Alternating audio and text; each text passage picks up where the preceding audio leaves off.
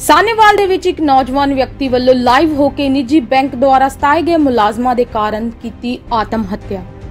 ਸਾਨੇਵਾਲ ਦੇ ਵਿੱਚ ਇੱਕ ਨੌਜਵਾਨ ਵਿਅਕਤੀ ਜੋ ਕਿ ਸਾਨੇਵਾਲ ਵਿੱਚ ਹੀ ਇੱਕ ਪ੍ਰਾਈਵੇਟ ਬੈਂਕ ਵਿੱਚ ਕੰਮ ਕਰਦਾ ਸੀ। ਲਾਕਡਾਊਨ ਤੇ ਕਰਫਿਊ ਦੇ ਚੱਲਦਿਆਂ ਨਿੱਜੀ ਬੈਂਕ ਮੁਲਾਜ਼ਮਾਂ ਦੁਆਰਾ ਇੱਕ ਮੁਲਾਜ਼ਮ ਉੱਪਰ ਕੰਮ ਦਾ ਜ਼ੋਰ ਪਾਇਆ ਜਾ ਰਿਹਾ ਸੀ, ਜਿਸ ਕਾਰਨ ਉਹ ਕਾਫੀ ਪਰੇਸ਼ਾਨੀ ਵਿੱਚ ਚੱਲ ਰਿਹਾ ਸੀ। ਪਰੇਸ਼ਾਨੀ ਦੇ ਕਾਰਨ ਇਸ ਵਿਅਕਤੀ ਦੁਆਰਾ ਫੇਸਬੁੱਕ ਤੇ ਲਾਈਵ ਹੋ ਕੇ ਦੌਰਾਨ ਦੇ ਨਜ਼ਦੀਕ ਨਹਿਰ ਵਿੱਚ ਛਾਲ ਮਾਰ ਦਿੱਤੀ। ਆਤਮ ਹੱਤਿਆ ਕਰਨ ਤੋਂ ਪਹਿਲਾਂ ਨੌਜਵਾਨ ਦੁਆਰਾ ਲਾਈਵ ਹੋ ਕੇ ਆਪਣੀ ਮੌਤ ਦਾ ਬੈਂਕ ਵਿੱਚ ਕੰਮ ਕਰਦੇ ਮੁਲਾਜ਼ਮਾਂ ਨੂੰ ਹੀ ਜ਼ਿੰਮੇਵਾਰ ਠਹਿਰਾਇਆ। ਉਸਨੇ ਕਿਹਾ ਕਿ ਇਹ ਮੁਲਾਜ਼ਮ ਮੈਨੂੰ ਕਾਫੀ ਪਰੇਸ਼ਾਨ ਕਰ ਰਹੇ ਸਨ ਤੇ ਉਸਨੇ ਆਪਣੀ ਜੀਵਨ ਲੀਲਾ ਖਤਮ ਕਰਨ ਤੋਂ ਪਹਿਲਾਂ ਇਹ ਮੰਗ ਕੀਤੀ ਹੈ ਕਿ ਇਹਨਾਂ ਵਿਅਕਤੀਆਂ ਦੇ ਖਿਲਾਫ ਕਾਰਵਾਈ ਕੀਤੀ ਜਾਵੇ, ਜਿਨ੍ਹਾਂ ਨੇ ਮੈਨੂੰ ਆਤਮ ਹੱਤਿਆ ਕਰਨ ਲਈ ਮਜਬੂਰ ਕੀਤਾ ਹੈ। ਇਸ ਦੇ ਨਾਲ ਹੀ ਐਸਐਚਓ ਸਾਨੇਵਾਲ ਇੰਦਰਜੀਤ ਸਿੰਘ ਬੋਪਰਾਏ ਦੀ ਅਗਵਾਈ ਹੇਠ ਮਾਮਲਾ ਦਰਜ ਕਰ ਲਿਆ ਗਿਆ ਹੈ।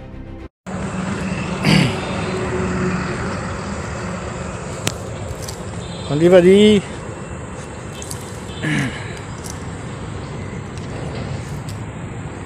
ਪਹੁੰਚ ਗਿਆ ਮੈਂ ਦਰਿਆ ਤੇ।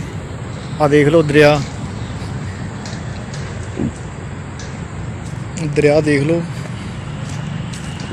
ਬਸ, ਹੁਣ ਇੱਥੇ ਕਹਾਣੀ ਖਤਮ ਕਰਨੀ ਆ ਮੈਂ।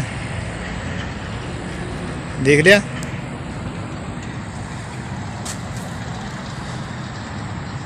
ਵਾਹ, ਹੁਣ ਇੱਥੇ ਮੈਂ ਛਾਲ ਮਾਰ ਲੱਗਿਆ।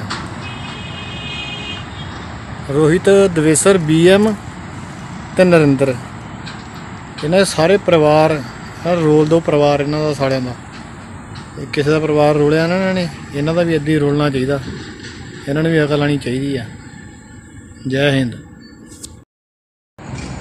ਵੀਰੇ, ਇੱਕ ਵੀਡੀਓ ਹੋਰ ਆ। ਮੇਰਾ ਮਕਾਨ ਨੰਬਰ ਹੈਗਾ 10921 ਗਲੀ ਨੰਬਰ 5 ਬੜਾ 2 ਨਿਊ ਸੁਭਾਸ਼ ਨਗਰ, ਬਸਤੀ ਯੋਧੇਵਾਲ, ਲੁਧਿਆਣਾ। ਜਿੰਨੇ ਤੱਕ ਮੇਰੇ ਮਾਪੇ ਜੀਂਦੇ ਆ, ਇਹ ਖਰਚਾ ਪਾਣੀ ਦੇਣਗੇ ਉਹਨਾਂ ਨੂੰ। 10000 ਰੁਪਏ ਮੇਰੀ ਸੈਲਰੀ ਸੀ ਤੇ ਸਾਲ ਬਾਅਦ ਸੈਲਰੀ ਵਧੀ 2000 ਰੁਪਏ।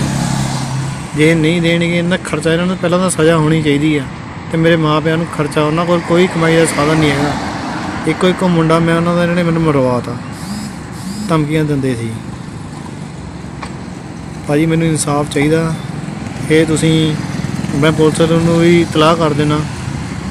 ਤੇ ਤੁਸੀਂ ਪਲੀਜ਼ ਇਹ ਵੀਡੀਓ ਵੱਧ ਤੋਂ ਵੱਧ ਸ਼ੇਅਰ ਕਰਿਓ। ਨਿਊਜ਼ 'ਚ ਵੀ ਚੱਲਣੀ ਚਾਹੀਦੀ ਆ। ਮੁੱਖ ਮੰਤਰੀ ਤੱਕ ਐਸਐਸਪੀ ਕਮਿਸ਼ਨਰ ਸਾਹਿਬ ਡੀਐਸਪੀ ਮੈਂ ਥਾਣੇ 'ਚ ਵੀ ਗਿਆ ਸੀਗਾ ਸਾਹਨੇ ਵਾਲਾ। ਹੂੰ। ਤੇ ਉਹ ਕਹਿੰਦੇ ਵੀ ਕੋਈ ਗੱਲ ਨਹੀਂ, ਸਾਡੇ ਕੋਲ ਇਹ ਟਾਈਮ ਨਹੀਂ ਤੁਸੀਂ ਦੋ ਦਿਨ ਬਾਅਦ ਆਇਓ, ਤਿੰਨ ਦਿਨ ਬਾਅਦ ਤੁਸੀਂ ਰਿਕਾਰਡਿੰਗ ਚੈੱਕ ਕਰ ਸਕਦੇ ਹੋ ਥਾਣੇ ਦੀ ਸਾਹਨੇ ਵਾਲ ਦੀ, ਬਸਤੀ ਉਹਦੇ ਦੀ, ਟਿੱਬੇ ਦੀ। ਬੈਂਕ ਦੀ ਰਿਕਾਰਡਿੰਗ ਸਾਰੀ ਤੁਸੀਂ ਚੈੱਕ ਕਰ ਸਕਦੇ ਹੋ ਜਿਹੜਾ ਮੈਂ ਕੰਮ ਕੀਤਾ। ਮੇਰੇ WhatsApp ਤੇ ਸਾਰਾ ਉਹਨਾਂ ਦਾ ਰਿਕਾਰਡ ਆ ਜਿਹੜਾ ਕੰਮ ਕੀਤਾ ਮੈਂ। ਭਾਜੀ ਬਸ ਹੁਣ ਇਹ ਅੰਤਿਮ ਆ। ਦਰਿਆ ਦੇ ਕੰਢੇ ਤੇ ਬੈਠਾ ਦੇਖ ਲਓ।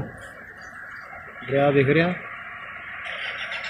ਆ ਦਰਿਆ ਦਿਖ ਰਿਹਾ ਸਾਰਿਆਂ ਨੂੰ? ਬਸ ਠੀਕ ਹੈ ਜੀ। ਜੈ ਮਾਤਾ ਦੀ। ਸ਼ਾਮ ਨੂੰ ਹੋਈ ਸੀ। ਉਹਨੂੰ ਅਸੀਂ ਕੱਲ ਸ਼ਾਮ ਨੂੰ ਜਿਹੜਾ ਹੈ ਮੌਸਮ ਜਿਹੜਾ ਟਾਈਮ ਜ਼ਿਆਦਾ ਹੋਣ ਕਰਕੇ ਅਸੀਂ ਉਹਨੂੰ ਸਿਵਲ ਹਸਪਤਾਲ ਭੇਜ ਦਿੱਤਾ ਸੀ। ਇਹ ਰਵੀਸ਼ ਕੁਮਾਰ ਈਵੀਐਸ ਬੋਬੀ ਤੇ ਸਨ of ਰਮੇਸ਼ਵਰ ਰਾਮ ਸੀ। ਇਹ ਜਿਹੜਾ ਨਿਊ ਸੁਭਾਸ਼ ਨਗਰ ਦਾ ਰਹਿਣ ਵਾਲਾ ਸੀ। ਇੱਥੇ ਇਹਦੀ ਸਾਡੇ ਸਾਹਮਣੇ ਆਈਸੀਆਈਸੀ ਬੈਂਕ ਹੈਗੀ। ਉੱਥੇ ਇਹ ਕੰਮ ਕਰਦਾ ਸੀ ਬੇਸਿਕਲੀ ਕੰਮ ਵੀ ਇਹ ਸੀ ਕੋਈ ਰੈਗੂਲਰ EMPLOYE ਨਹੀਂ ਸੀ ਇਹ ਇਹਨੂੰ ਜਿਹੜਾ ਮੈਨੇਜਰ ਨੇ ਤੇ ਬੈਂਕ ਨਾਲ ਟਾਈ ਅਪ ਚ ਰੱਖਿਆ ਸੀ ਵੀ ਤੁਸੀਂ ਕੋਈ ਲੋਨ ਵਗੈਰਾ ਕਰਵਾਓਗੇ ਤਾਂ ਅਸੀਂ ਤੁਹਾਨੂੰ ਉਹਦਾ ਕਮਿਸ਼ਨ ਦੇਵਾਂਗੇ ਪਲੱਸ 7-8000 ਰੁਪਏ ਇਹਨੂੰ ਸੈਲਰੀ ਦਿੰਦੇ ਸੀ। ਹੁਣ ਜਦੋਂ ਕਰੋਨਾ ਵਾਲਾ ਮੈਟਰ ਆਇਆ ਤਾਂ ਇਹ ਕਰੋਨਾ ਤੋਂ ਜਦੋਂ ਲੋਕਡਾਊਨ ਤੋਂ ਬਾਅਦ ਇਹ ਇੱਥੇ ਆਇਆ ਹੁਣ ਬੈਂਕ 'ਚ ਉਹਨਾਂ ਨਾਲ ਜਿਹੜਾ ਅਹ, ਵੀ ਮੇਰੀ ਨੌਕਰੀ ਉਹ ਕਹਿੰਦੇ ਨੌਕਰੀ ਸਾਡੀ ਅਸੀਂ ਨਹੀਂ ਦੇ ਸਕਦੇ। ਉਸ ਤੋਂ ਬਾਅਦ ਇਹਨਾਂ ਦਾ ਆਪਸ ਵਿੱਚ ਹੀ ਤਕਰਾਰਬਾਜ਼ੀ ਜੋ ਵੀ ਹੋਈ ਉਹਨਾਂ ਨੇ ਆਪਣੇ ਫੇਸਬੁੱਕ ਜਿਹੜਾ ਹੈਗਾ, ਉਹ ਆਈਡੀ ਤੇ ਆਪਾਂ ਲਾਈਵ ਕਰਕੇ ਇੱਕ ਆਪਣੀ ਆਪਣੀ ਜਿਹੜੀ ਹੈ ਪੋਸਟ ਕੀਤੀ ਵੀ ਮੈਨੂੰ ਜਿਹੜੇ ਦੋ ਬੰਦੇ, ਨਰਿੰਦਰ ਸਿੰਘ ਤੇ ਰੋਹਿਤ ਦੇ ਬੜਾ ਇਹ ਜਿਹੜੇ ਹੈਗੇ, ਇਹ ਤੰਗ ਕਰਦੇ ਹੈਗੇ, ਜਿਨ੍ਹਾਂ ਨੇ ਮੈਨੂੰ ਨੌਕਰੀ ਤੋਂ ਕੱਢਿਆ ਪਲੱਸ ਮੇਰੇ ਜਿਵੇਂ ਮੇਰੇ ਨਾਲ ਬਦਤਮੀਜ਼ੀ ਕੀਤੀ ਆ। ਜਿਸ ਤੋਂ ਲਾਈਵ ਹੋ ਕੇ ਉਹਨੇ ਦੁਰਾਹੇ ਨਹਿਰ ਪੁਲ ਹੈਗਾ, ਜਿਹੜਾ ਉੱਥੇ ਚਲਿਆ ਗਿਆ, ਉੱਥੋਂ ਜਿਹੜਾ ਹੈਗਾ ਉਹਦਾ ਮੋਟਰਸਾਈਕਲ ਤੇ ਪਲੱਸ ਦਾ ਮੋਬਾਈਲ ਉੱਥੇ ਮਿਲਿਆ, ਜਿਸ ਚੋਂ ਦੋ ਪੋਸਟਾਂ ਹੋਰ ਸੀ ਜਿਹਨਾਂ ਨੇ ਆਪਣੇ ਆਪ ਨੂੰ ਦੱਸਿਆ, ਮੈਂ ਸੁਸਾਈਡ ਕਰਨ ਲੱਗਿਆ। ਤੇ ਉਸ ਤੋਂ ਬਾਅਦ ਉੱਥੇ ਜਿਹੜੀ ਉਹਦੀ ਡੈਡ ਬੋਡੀ ਰਾਤ ਸਾਨੂੰ 25 ਤਰੀਕ ਨੂੰ ਜਿਹੜੀ ਹੈਗੀ ਮਿਲੀ ਹੈਗੀ, ਉਹਦਾ ਅਸੀਂ ਪੋਸਟਮਾਰਟਮ ਕਰਵਾ ਕੇ ਉਹਦੀ ਜਿਹੜੀ ਪ੍ਰੋਸੀਡਿੰਗ ਐਫ ਆਈ ਆਰ ਦਰਜ ਕੀਤੀ ਹੈ 306 ਐਮਪੀਸੀ ਦੇ ਤਹਿਤ। ਜਿਹੜਾ ਅਸੀਂ ਸਾਧੂ ਸਿੰਘ ਦੇ ਇਨਵੈਸਟੀਗੇਸ਼ਨ ਅਫਸਰ ਨੇ ਉਹ ਦੇਖ ਰਹੇ ਨੇ। ਅਸੀਂ ਜੋ ਵੀ ਫਰਦਰ ਐਕਸ਼ਨ ਆ ਉਹ ਕਾਨੂੰਨ ਅਨੁਸਾਰ ਬਣਦਾ ਉਹ। ਕਿਹਦੇ ਵਿਰੁੱਧ ਕਾਰਵਾਈ ਕੀਤੀ ਗਈ ਹੈ ਜੀ? ਹਾਂਜੀ? ਜਿਹੜੀ ਕਾਰਵਾਈ ਕੀਤੀ ਗਈ ਆ ਉਹ ਕਿਹਦੇ ਵਿਰੁੱਧ ਕੀਤੀ ਗਈ ਆ?